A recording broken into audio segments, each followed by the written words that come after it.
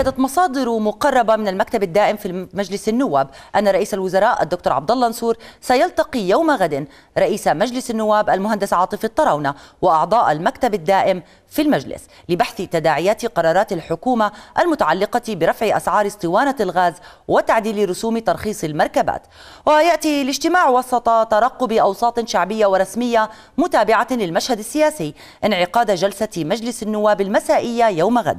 بعد أن شهدت عطلة نهاية الأسبوع تبادلا للتصريحات بين مجلس النواب والمصادر الحكومية على خلفية قرار رفع أسعار اسطوانة الغاز وتعديل رسوم ترخيص المركبات.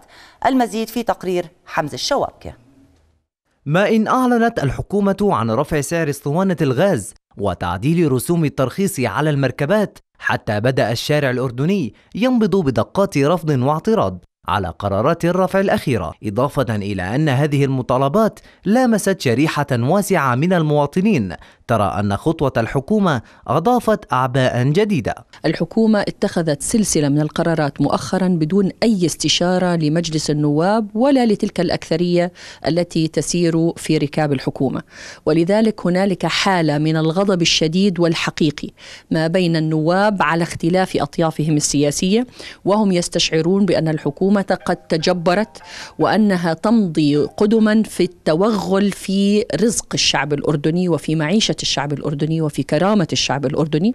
وبالتوجه إلى السلطة التشريعية فإن الحكومة وقعت بين انتقادات نيابية لم تتوقعها وأصوات عالية ضج بها المجلس نادت بالتلويح بطرح الثقة فيها وعدم قبول مثل هذه القرارات التي وصفها بعض النواب بالمجحفة.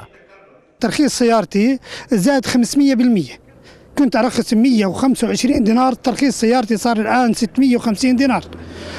الحكومة ما خلت مجال للمواطن إنه يقدر يتنفس. يعني ما ظل عليهم إلا يركبوا عدادات على الأكسجين. يتنفس أكسجين ندفع عليه مصاري. منين نروح نجيب؟ هو قرار مجحف في حق شرائح كثيرة من المجتمع الأردني. ولا بد كان في هذا القرار أن يراعي ظروف هذه الشرائح ومدخولات هذه الشرائح. وذلك وارد بموجب نص الدستور المادة 111 من دستورنا الأردني اللي اشترط أن يكون التكليف للمواطن تصاعدي وأن يكون ضمن حدود مقدرة المواطن.